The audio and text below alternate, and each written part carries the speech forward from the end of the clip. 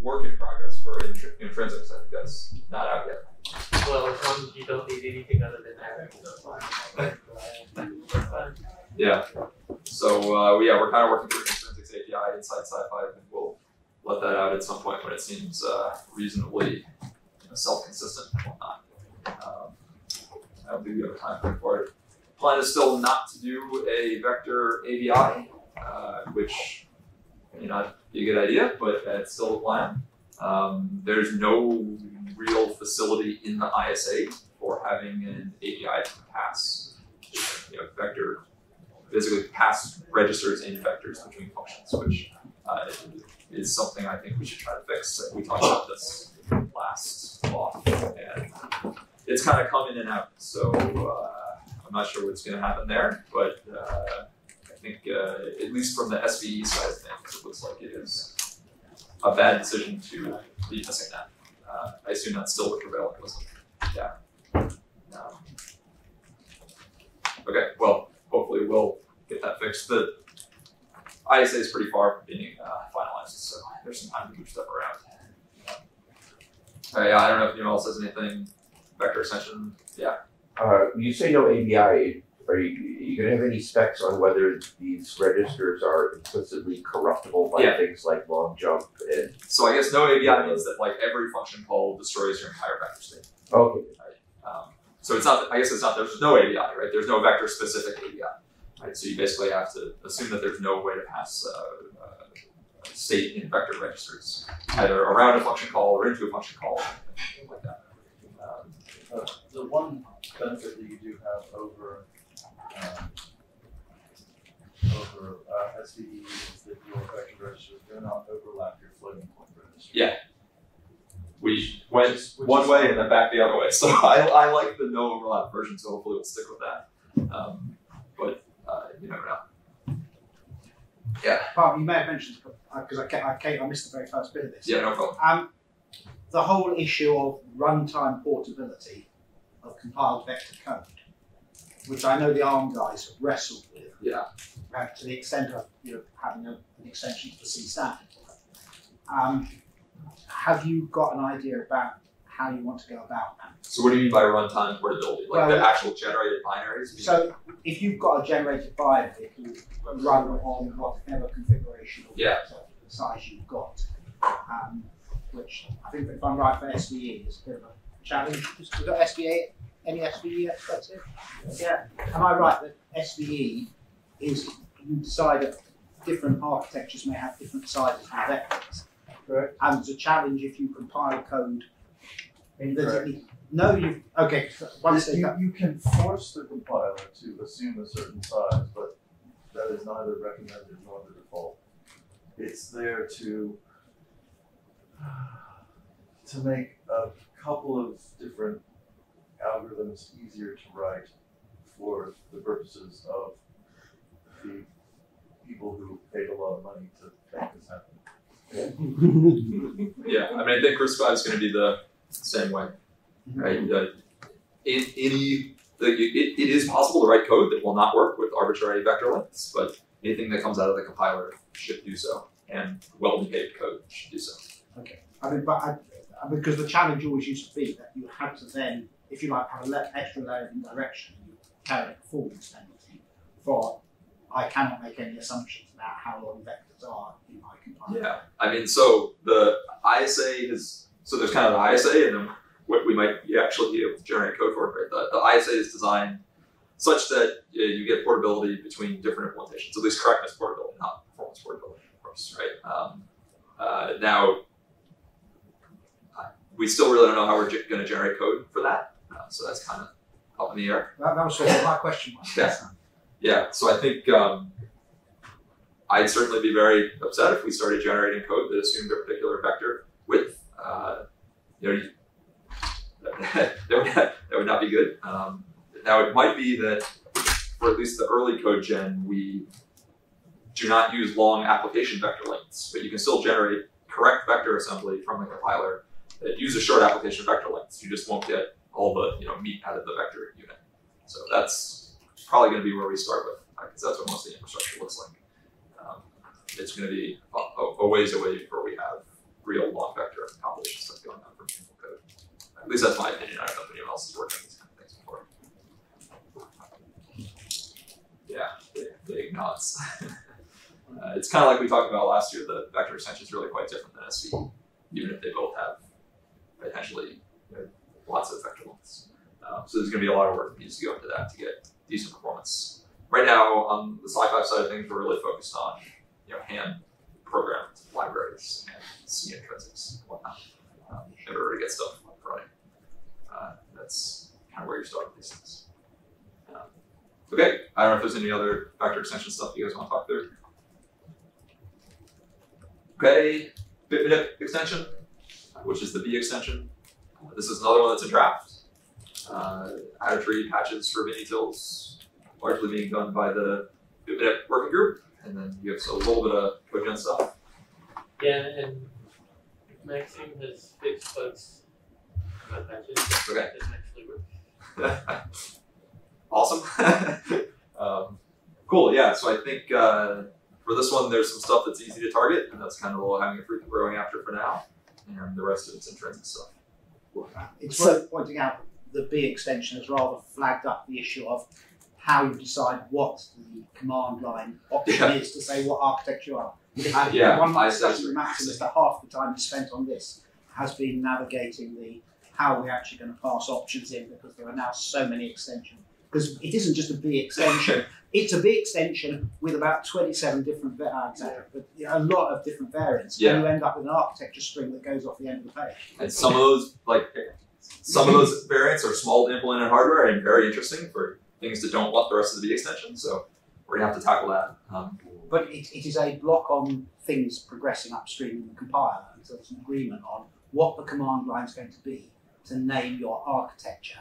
And I think we're at the level, are we not now, where we're going to have an option to say whether you're going to specify the architecture in the old fashioned way or the new way. So you actually need two options. yeah. That's, Having yeah. been through that before in an Behind issue you, with, uh, with oh. Joseph's got his hand. So sorry, this extension made me think of the GCC bug that's requesting an architecture independent built-in for bit reverse. That seems to be one of the things that this extension does. So are things like that architecture independent intrinsics on your NADA. So that's GCC bug 50481 built in to reverse the bit order. Okay. Because that's something that some other architectures have as well. Yeah. Maybe not quite such a general reversing instruction as this 5, but I mean, that seems like to me a reasonable GCC built in as opposed to an architecture built in. Yes, so it's possible there are other things in this extension that should have architecture independent Yeah. this particular one has a bug that was filed in 2011 asking for it, or with a comment saying what Clang calls there's built in, so presumably you want to give them the same name. Yeah, so we're trying really hard in RISC-V Land to make sure that everything is the same between the LLVM stuff and RISC-V stuff. Yes, so for when you do the big extension stuff, you might want them to look at GCC bug Great. Do you 50401. want to just uh, send an email so I don't lose it? I might add a comment to this bug in Yeah, you bugs can that are add it. Yeah. applies for RISC-V big Yeah. extension. Cool. There's like a hundred percent chance I will forget the bug number. Unless it's- yes, well, if one of the RISC-V people is watching Bugs the Element, I add a Jo- comment. Joseph, just turn around and say it very clearly into the microphone. Hold your camera up to the, hold your phone up to the camera there. and show it like- Yeah, uh, I was just gonna say, having been through this. oh, it's not off. No, no, no, no. It's I, Do you remember the password? No. There you go. One, two, three, four. It's focusing. And there we go. Uh, let's see, having been through this on a uh, GCC port that had two to the twelfth combinations of, of permutations, I'm certainly willing to share my experiences with that problem offline. Yeah, I mean, I don't know what to do with the ISA string stuff. That feels like something that needs to be argued about on the mailing list. Uh, Well, but this is a good forum actually to try and get some resolution. yeah, I So mean, when you've got through your slides, we might actually go into that in a yeah. Yeah, yeah, bit because then we can say. I mean, we don't have to get. The goal is not necessarily to get through the slides. I mean, my opinion on the ISA string parting stuff is we just need the simple version and just parse ISA strings as the current ISA treats them and avoid all the old versions. But uh, that's not the protocol opinion. So, um, moving on. uh, 64-bit time T. Um, yeah, I. I have not been paying attention. Alistair says that he's going to finish it. Pretty adamant about that. Uh, so with any luck, we will get it done. Um, it kind of nominally targeting the next glibc release as we've been doing for the last two years. So uh, it's time for real. Hopefully, I don't know if anything has any, anyone has anything specific to talk about. Yeah. Okay. Cool. Uh, large code model. So this is something that started to come up for us recently. Uh, we have med and med low. They're both effectively two gig ranges on RV64. Uh, we have a lot of embedded targets that have sparse memory regions. People want to put stuff all over them. It doesn't work with gigs, uh, especially in the big systems. Um, so we've had a bunch of discussions internally. Kind of first thing to pick is how many bits, right? 43 is the next one up. You know, it's one, one, one more instruction, but it's kind of odd man out when you look at the patterns in terms of what uh, relocations to use. Um, the other option here is just to jump to 64-bit relax stuff, which I don't really know if I want to bite the bullet on that much more linker relaxation. So I'm not sure which is the better answer here. Um, we're leaning towards inlines instead of constant pools. Uh, for the smaller ones, the inline stuff is the same number of instructions, and doing all the constant pool, you know, deleting is uh, a lot of work. So I don't know if anyone has opinions, anything to talk about large code model lines. Well, on power, we we have small, medium, and large. Yeah, so we don't have small because we use linker relaxation to go from medium to small. So we threw that one out. Yeah. Um, I kind of, yeah, so basically you look at this and it's like you do 43 and then you end up with something like 50, 52, something like that, and then 64. I don't want to have that many code models. Yeah. Um, 43 is nice because it's one extra instruction. Um, the problem is that we have some systems that are bigger than 43 bits in the embedded space and there's stuff all over the place. And when you look at, say, like relaxing from 64 downward, 43 doesn't really fit because I, I have all the patterns listed on my website. But the you know, it's like you do the add at the end instead of the middle or something like that, right? So uh, just kind of doesn't line up and it makes it a headache. Um, so what we might end up with is kind of a we end up with a you know 40, 43 and then a 64 or something like that. Um, yeah, I, I don't know if the right answer. Just from the systems I've seen is if you're doing sparse address spaces, you're typically using the whole 64 bits. So I suspect. I mean, I, I We're not. But, We don't have anything that's more than 50 bits, but that you know. Well, it, I mean, okay. Um, I've I've seen systems, not, not just on it, where if you go for an embedded architecture and you're going for 64 embedded as opposed to 32, for any of these things, once you've gone for sparse memory, you've got different memory blocks everywhere. For all sorts of arbitrary design decisions, you may plonk those block bits anywhere in the address space range. Yeah, I mean there is some hardware cost to increasing the physical address space, which is why we tend to. Yeah. But we get like a you know one more bit of physical address space every two months or something on aggregate inside SiFive. So you know if we're at 50 now, then doing 53 is probably not a wise decision. Uh, so um, I think the real question here is basically do do we do 43 or do we just skip it entirely? Um, I don't know. But I think I, I mean I I would be in favor of doing this once and fixing it. It does mean that it's going to be a lot more work, particularly if you want to get reasonable performance out of this large code model stuff. But the nice thing about doing 64 is that it's the physical address width of the ISA, and then we're done with it forever. Um, aside from, you know, linker relaxations. One thing for us though is on the 64-bit side, we, for our large code, code model or code model, Yeah. it's a lot slower for us. Yeah. So we don't default to that. We default to the medium code model. And so, do you relax from large to medium? I'd have to ask Alan. Yeah. Alan is the expert on the, the whole linker thing. Uh, I think we do. I think he's got some optimizations on there, but then you're left with when you relax at the link time, you can't get rid of those instructions. So then you just no ops. Uh, we actually delete Something. when we relax. You can delete them at link time. Yes. Look at here we go. It's on here. There we go. We delete everything. Sorry. Uh, so this has been on the to list for a while. So right now we delete all of our no opt out. And so we go through, we relax them, we turn them to no ops and our RSP none, and then we shift the ball back up, making our link time uh, n squared. So you have to relink, relink or relocate all the others. Yeah, and We we shift like every, every time we drop an instruction, we shift every byte after that back up, which which makes linking large programs really slow. Right. So when we did the PC relative stuff, because with the PC relative relaxations, they end up aliasing if you start to shift everything up. So for that, what we do is we don't convert them to none, we convert them to an internal binutils relocation called delete.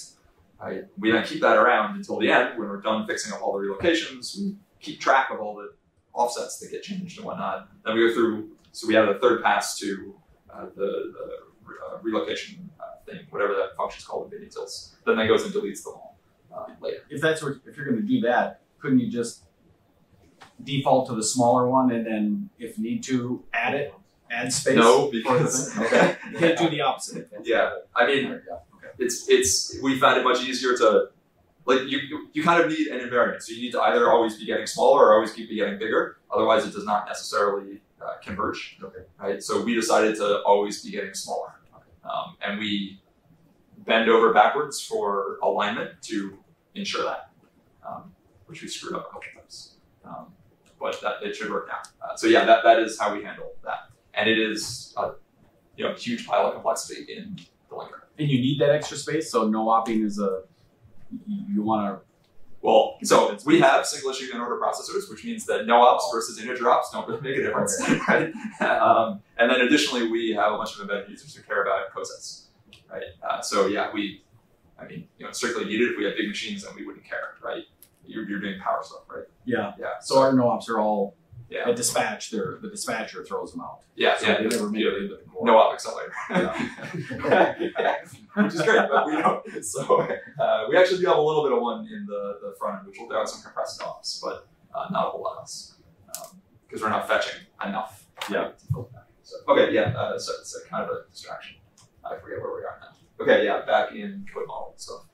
Um, but yes, so the I think the idea there would be to go relax everything away and delete, which is a lot of work. I mean, it's already a ton of work to do the relaxations as they stand, and deleting more stuff is even more work. Um, so I don't know what the right answer is there. Do you do you when you relax, when you see something that you can relax? Do you immediately go compress everything and then continue, or can you maybe assemble everything once, find out what got relaxed, and then try to? Well, that's basically the R recipe delete. Right. So how how we have two type we so we have the old relaxations that happened before we realized that you couldn't do PC relative relaxation in that manner, and then we have the PC relative stuff. Right. So for the old ones, as soon as we see one, we delete it, turn the relocation into uh, a none relocation, and then we shift everybody up.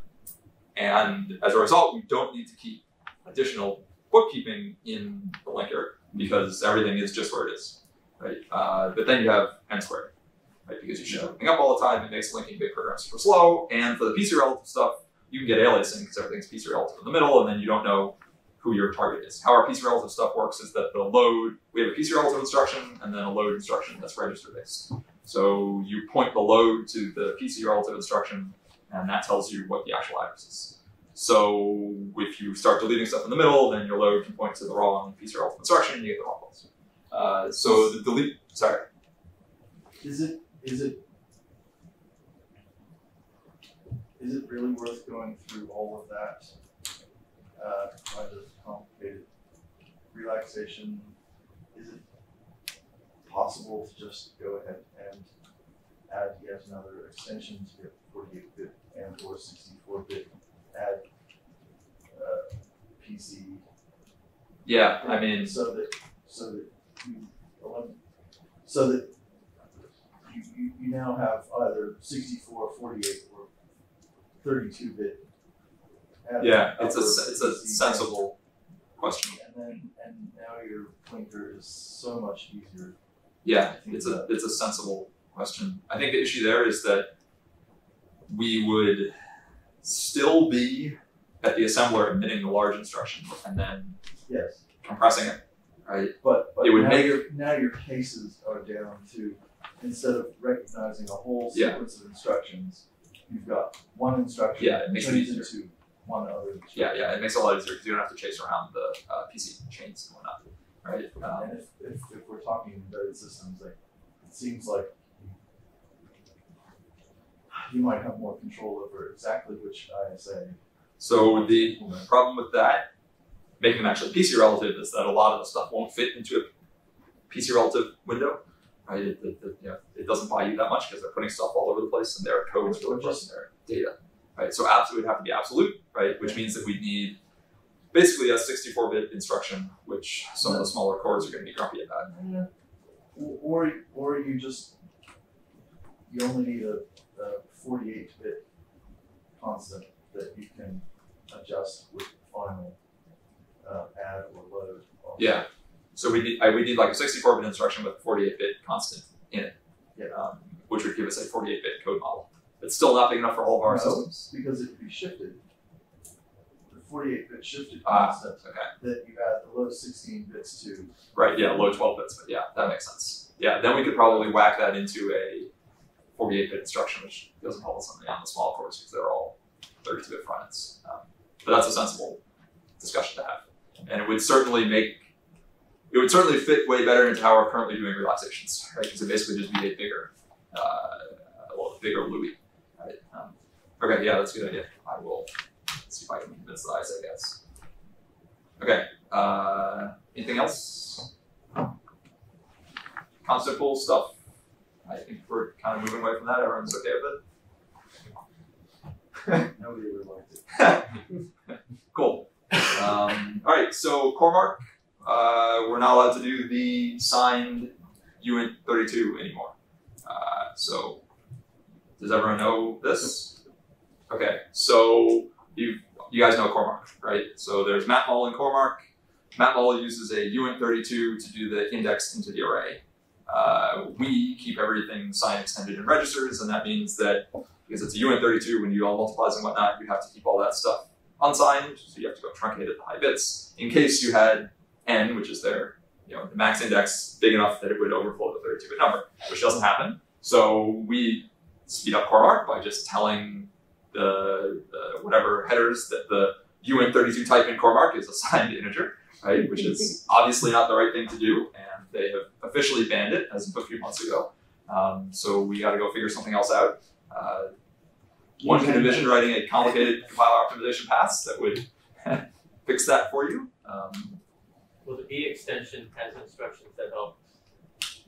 help but don't fix, right? Because we Right. still it, it, it and this the problem is that this loop, right, being a integer three nested loops that map all the inner loop where you're doing all this stuff is like four or five instructions or something. There's some a bunch of analysis on the website. So adding one instruction in there destroys destroys your CoreMark performance.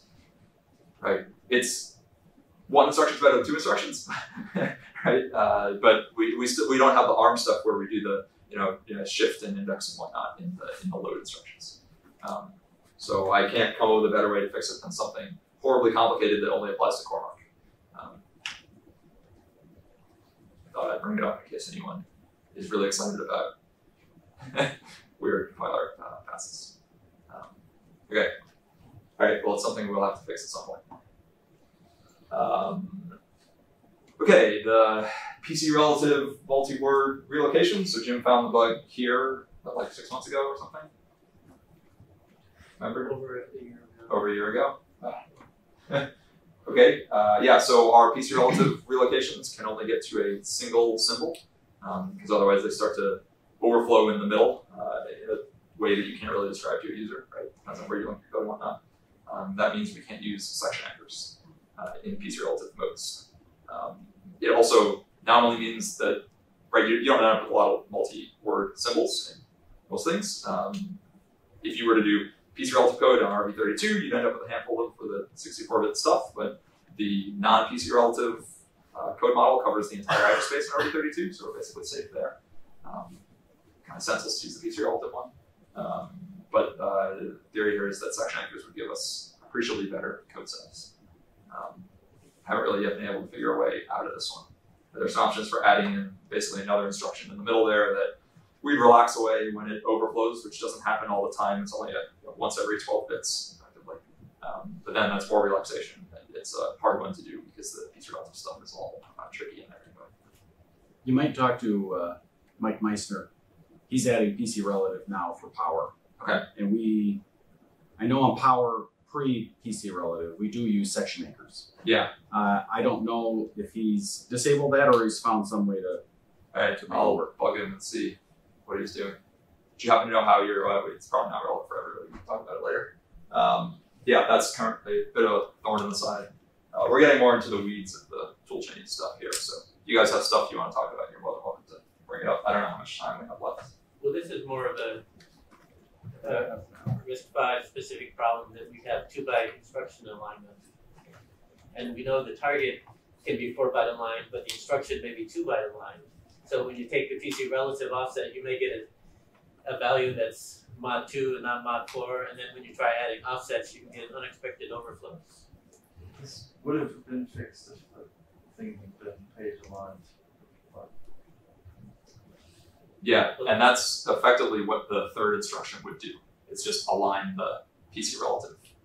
Right. Well, if, if, if you were to, if you were to add those slightly larger, um, You make them aligned. you'd make them aligned. Yeah. You'd fix this problem once and for all. Yeah. So you keep convincing me to add new instructions. the problem is we still have a bunch of junk out there that we need to fix it for, but that does seem like a uh, convenient way to handle this. So you're saying your PC relative instructions have to be more aligned than normal instructions? Um, well, we have this compressed extension that allows two byte alignment of instructions. So our we have a four byte instruction that the AUIPC that computes the PC relative offset. But because it can be two byte aligned, that means when we compute the PC relative offset, we may get a number that ends in two. Yeah. And then when you try to add an offset to that, it may overflow. We can't be sure that the uh, adding, you would think that, okay, suppose you have a, a long long, it's eight byte aligned, and then you generate this PC relative offset, but the PC relative offset may have a two at the end, and you add a four byte, which normally it should be okay to add a four byte offset because you know the target address is eight byte aligned. Mm-hmm. But because we have this unaligned AUIPC instruction, adding the four may overflow. And that prevents it from working. Yeah, you can always get to one of them, or you can't get to the second one. Yeah, well, it works for one variable. Yeah.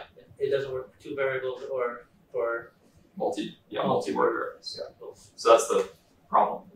I don't know how. We don't have that problem. Um, for our new PC relative stuff, we have these prefix instructions, but they can all be at four byte alignment, just like the normal instructions. But Yeah, if we force Yeah. the AUIPC to be four byte aligned, that fixes the problem. But then it increases code size because now we have these extra Yeah, two byte numbers. Yeah, well, as part of ours, we we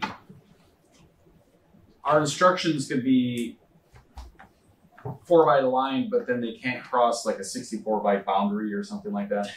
And we don't want the user to have to put these alignments directives to, to do that. So we I've added code to the assembler then that will go and if it sees some of so one of these special instructions crossing one of these boundaries, I'll put a no op, insert a no op to get it on a nice alignment for for some of those uses. But so most of most of them never have to do that. But Yeah, the problem is that we would end up at a like the the it has to be aligned to the same as the symbol size, which is usually small enough that those no ops would just kill you. and you don't have another two byte align We do. instruction that you could shift to to move the one instead of aligning. Yeah.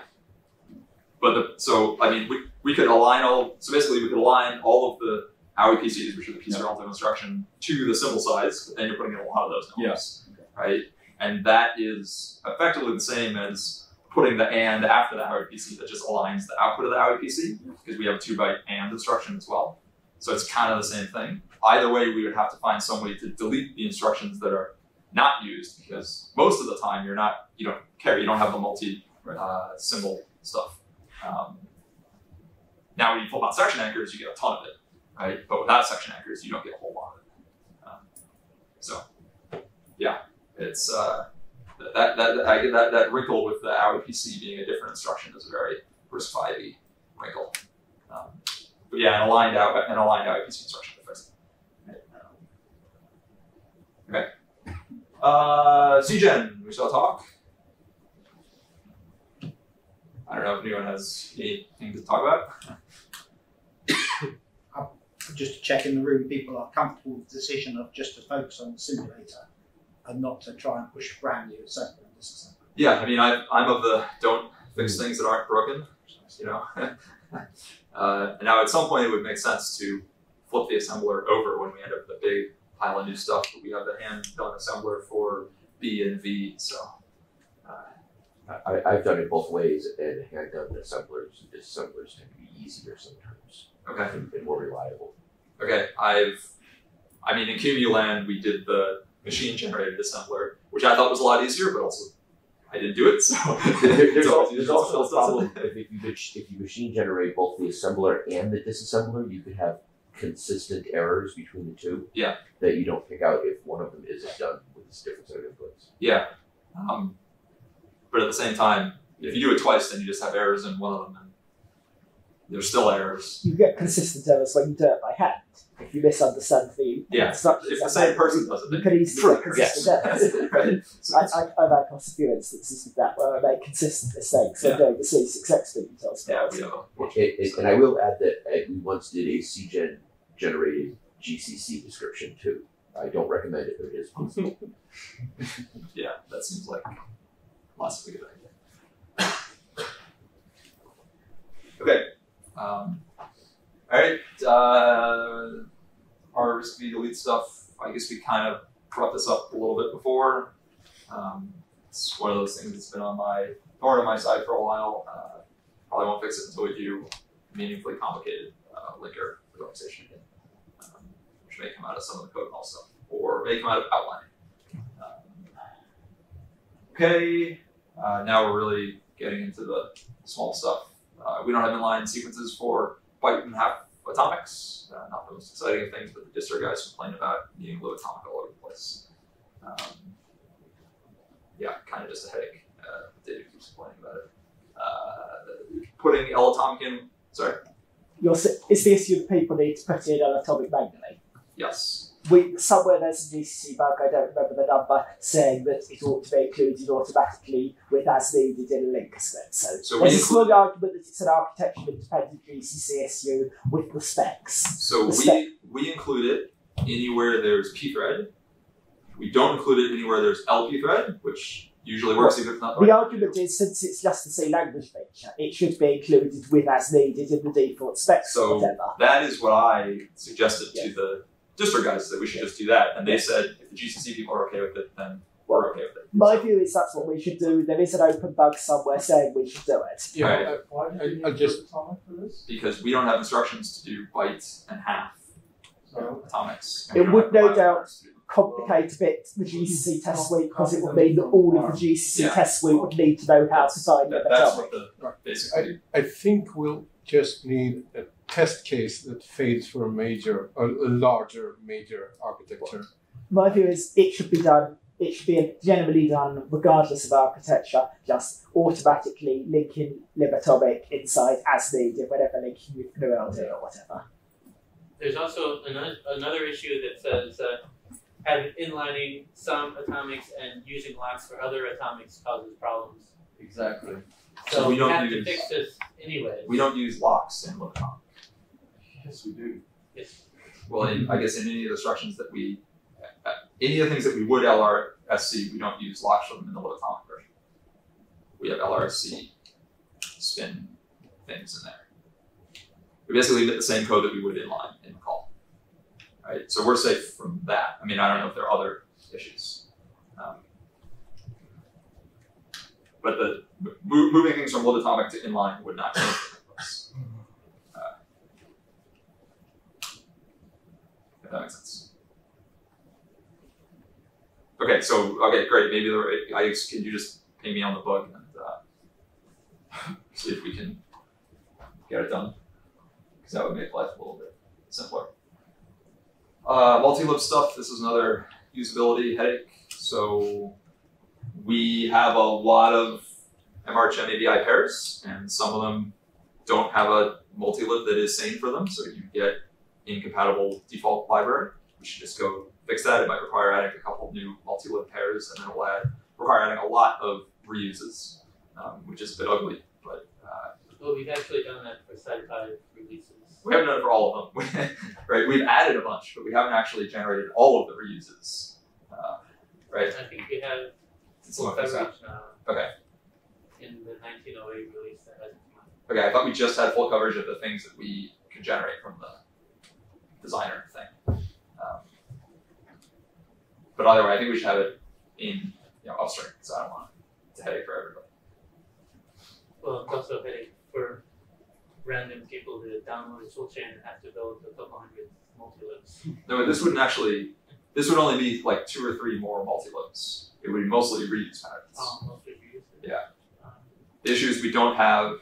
I mean, I forget which ones we don't have, but it's like maybe, uh, like uh, some of the like I think we don't have a 64F in the default library set. Right, so we, we would have to add like you know R- RV64 IF and then LP64F or something like that. I think maybe we're also missing some. I don't, I don't think you can fix this with a few reuses. I think you need a little more combination. Okay. Because when the ABI changes the reuse, can't fix it. Yeah, I think we only need like maybe two or three more actual multi-libs and then a lot of more reuses, like a thousand reuses. That's not considering the vector extension the Yes. etc. Yeah. So we would then need, I guess, many thousand of them when we start getting more instructions, uh, ISA extensions. Um, so I don't know if uh, that's insane or it's just not worth fixing. Right? Right now, what ends up happening is that you know we get all these people submitting bugs that are basically. I asked for a library set that is, or I, I asked for a multi-lib that is not giving me a same thing, so it defaults to you know 64 GC LP64D when you pass you know, LP64F, and then you get some linker error message that's kind of screwed up.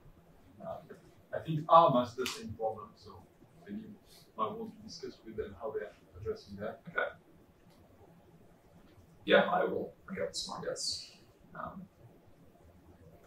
okay, I think that's the extent of what I have. Uh, I don't know if there's any other response stuff people want to bring up.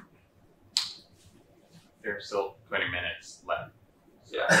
So there's something I would like to bring. Uh, this is something I mentioned to you and Jim already, and I'd like to take this opportunity to, to, to see if there's interest in that in the wider audience.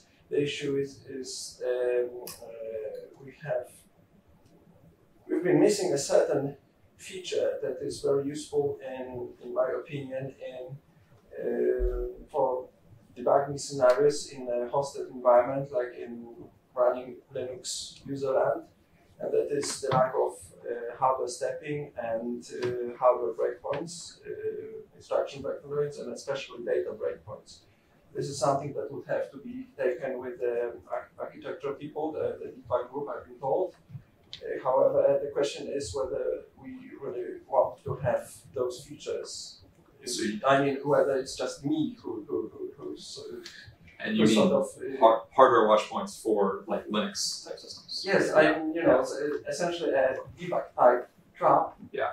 Hardware trap that uh, calls into the supervisor mode Yeah. rather than the debug mode. Yeah, because we have it for basically bare metal debugging, but we don't have it Yeah, for so so so there is uh, Yeah. there, there is you know sort of base infrastructure in the hardware already. Yeah. So the question is whether we want to have a CSR essentially interface to like conditionalize that and tell the, the uh, tell the how the, debug unit to trap into the kernel mode rather Yeah. than the, the debug mode. Presumably, it should just be a new ptrace function, um, a RISC-V specific ptrace entry point where you can set ask for a hardware breakpoint, and then I guess you need open SPI support to actually set the ptrace the uh, breakpoint register. Well, and we need an ISA extension to make it available above debug mode.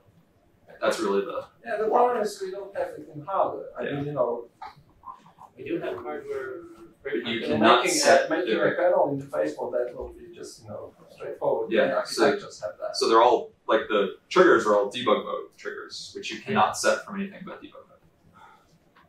Oh, not even from Gmod? I believe you Oh, cannot. well, that's a problem. Yeah. yeah. yeah. So the spec is kind of mechanical at that point. Um, yeah, I think everyone's in favor of it. It's just a matter of doing it. The libatomic thing is GCC bug eight one three five. So now there's like by a the way. 200% chance I'm going to so someone else down, it's eight one three five eight. For the notes of the book. Hopefully it got picked up in the camera. cool. All right. Eight one three five eight. Yeah, I mean, if it's saying to add them everywhere, or at least everywhere first five steps, I'm happy with it. Um, Bob, if the just because I, I, I'm not directly involved, but I see this thing going round and round. If there are no other topics to discuss, it would be quite good to use this room to nail a final decision on how the architecture should be substituted I on. Mars. Because as far as I can see, there is a never-ending mailing list. Is that fair to say? A long mailing list discussion going on, and no resolution. All right, well, we have 15 minutes, so let's decide it by the end of the talk. Yeah. You also Yeah. need coordination with LLVM. Fair. But I think maybe we can at least come to a decision. I think if, the if, if the GNU community had a view, um, I mean, do you want, are you familiar with the issue, Jim? Yeah, it's complicated. Could you try and explain it or sim- Oh, um, I didn't know there was going to be a quiz. I haven't looked at it in a while. Uh, well, I can ask Maxim because he's been looking at it. Uh, right. Obviously, a quiz either, but Yeah, you're, you're younger. For me. well, basically in RISC-V, you've got uh, RV32, IMC, and so forth, and you've got some uh, support for if you want to have like snap. Well, in, in the old one, you could do something like RV32, IMC, so and so. Then you would do X X foo, and that would be like a non-standard extension. Uh, now they've changed the, sta- the standard to be you've got now RV32, so and so, and now you've got um, there's S prefix subset, which is the standard supervisor, SX, which is the non-standard supervisor, Z, which is standard extension, of sta- standard arbitrary extension, and X, which is non-standard arbitrary extension.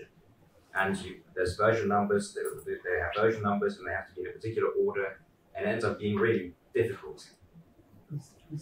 So one thing they did was they switched the order Oh of yeah, S and, they, yeah, and and X, where one came, yeah, yeah. so the old style one came first, and the new style the other one comes first. So depending on your architecture version, you need a different ordering of the uh, extensions. So I think string. that's okay because we never, we don't have any of those in any of the tools. Yeah, that's what Andrew Yeah. Waterman told me. There are no existing S extensions, so presum- presumably we could just ignore that problem and just assume that we've never, just pretend that we've never supported the old S extension. We have never split the old S extension, so I think we're good. SX was dropped. SX is valid in old strings, but not valid in new strings. And again, we never had any. We never had any, so we can just so. pretend they never existed. To me, the real question is the version number stuff, right? Do we include the version number and continue parsing things as old, continue allowing people to parse things as old ISA strings, or we just do we just move to the new version? And I would be in favor of just moving to the new version. Well, no, the version numbers have always defaulted to like 2.0 everywhere. And if you, if the, when the linker looks, you've got two object files, and if the version number mismatches, it just instantly fails. So it, it errors out. So no one uses the version numbers aren't used anywhere. So And should the linker error out if you've got different versions? Well, I anticipate the reason they were put there is that there are some cases where it shouldn't error out, like if you've got, well, yeah, like an integer version 2.2 and integer version 2.1. I don't know if you know what the difference between them is. uh, fence and Oh, yeah, right. Yeah. What about 2.1 and 2.0? So uh, I don't know about those two. Yeah, Off the top of my head. Yeah, the CSR stuff got pulled out at some point too. So I, I mean, I think it's another one of those things where practically it doesn't matter because all that stuff got banned from the Linux API. Anyway, there are no CSRs in user space, and there's fence.i is banned from user space as well. So we did that before the ISA did. So I think we can just move to it and say, yeah, if you have embedded binaries, then you'll have to recompile your code, but that's okay for embedded stuff. We, you know, slip around that, that, that, that, that's a false assumption. if you've had your binary carefully signed off, signed off for cryptographic security, I tell you, the smart card people, oh, just recompile your binary gets them really, really upset. Okay. Okay, so I think that we actually have to deal with that case of Right. for all people, recompile your program should not generally be an option. Okay. go down. So- So then we just need to have the version string, the version number parsing in the ISA string. Yeah. It's complexity, but Well, we already have version number parsing. It's already in there. and I guess we have to obey it. Yes. that makes Yeah. sense. The issue is what exactly does G mean if you don't specify the version number or Yeah. So I think there we should always have the default one point to the newest ISA, right? As whenever the compiler is, you know, released, and if people want explicit compatibility with the older versions, then they enumerate that in the ISA string. So that would mean if I wanted to get what I had already, I would have to use something different to what I used originally. If you want to get something that's never going to change, then you have to use the explicit version. the But, explicit but suppose I compiled my smart card application, got it certified last year. Um, I have to actually do something different this year to get the same things. I you have to use different compiler targets. Or use the same compiler you used last Yeah. year. Yeah, okay, that's a fair Yeah. point. Yeah, yeah, yeah, yeah, you probably want the same compiler. No, okay, yeah. I mean, I think if you're going to upgrade your compiler, then upgrading or changing your compiler arguments is right. I'd be way more worried about the compiler than the arguments. Okay. Mm. Okay, so that seems real. So we have a solution. Yeah. So it might be good if Maxim and Jim perhaps post on the mailing list saying, having had this discussion. Yeah. Yeah. The, the, the last time I had to deal with it, having that kind of embedded guarantees. We checked the entire tool chain into source control with the sources to guarantee that it would produce exactly the same output. That was the only way Yeah. that we could. And that's why I wasn't worried about the real recompiling your binary stuff because you're probably going to do that if you upgrade your compiler. anyway. Yeah. So I think just assuming that embedded people are willing to recompile is probably dead. But I think we've got a solution Yeah. anyway that works. yeah, and you know the the the version numbers are in the ISA string, and then they disambiguate all this stuff. So at least allowing people to you know, get get what they're asking for seems reasonable, even if it is a little more headache. Um, you know, right now it's only CSRs and that's I and G might move around a little bit too. Oh. So there's nothing left on the screen. Okay, well, we can get that written up, and then Yeah. we've got about a month till the LLVM dev meeting, Okay. and we can at least put a round table up at short notice. Yeah. To get anyone who cares about that to come and look from the LLVM one and try and get it. I'm just conscious of just seeing this sink of developer effort going into this problem that this is not where you want compiler brains going. Yeah. But I think, uh, yeah, I, I think, yeah, this is the reasonable way to go about it. Um, sorry, I haven't been paying attention to the mail lists, so I don't know what the other opinions are. Okay, uh, yeah, anything else? That was faster than expected. First too much. good.